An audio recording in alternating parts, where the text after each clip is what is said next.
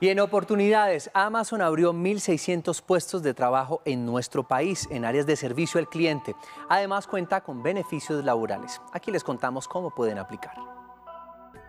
En oportunidades de trabajo, vaya a la página www.amazon.jobs/colombia. Acá encontrará ofertas de empleo en modalidad presencial disponibles en la ciudad de Bogotá.